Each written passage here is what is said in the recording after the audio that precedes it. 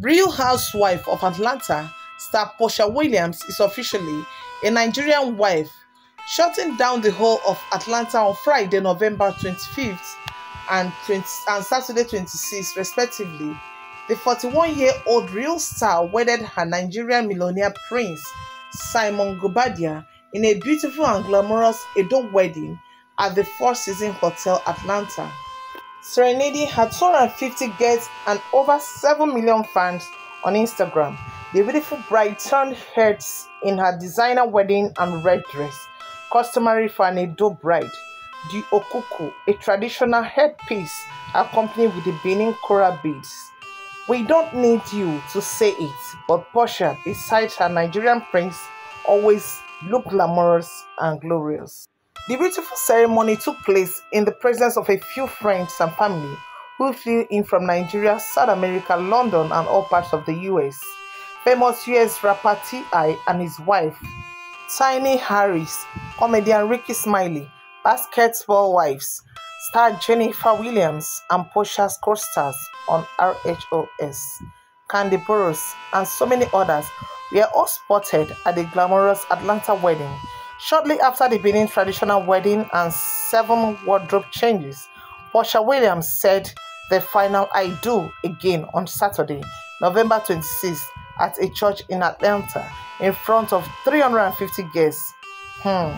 Has Porsha Williams found true love at last?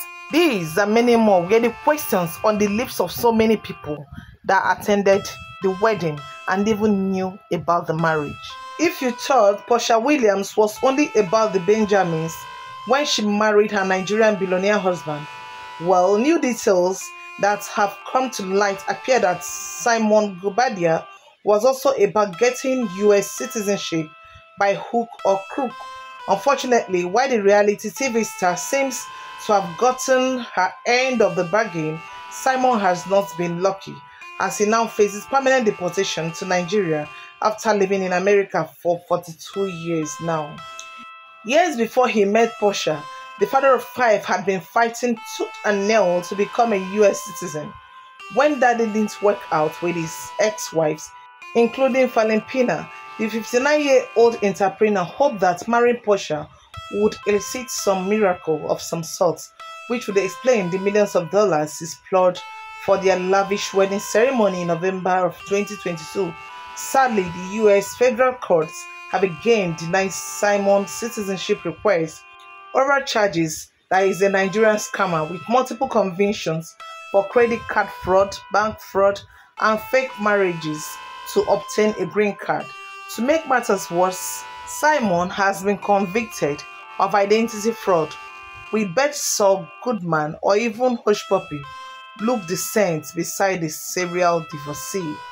While we are all debating whether Simon Guobadia is his real name or if he bears another name, everyone can't stop asking if Porsha will spill all the tea on the upcoming season of The Real Housewives of Atlanta. Shockingly, the Atlanta alum has quickly filed for divorce from Guobadia.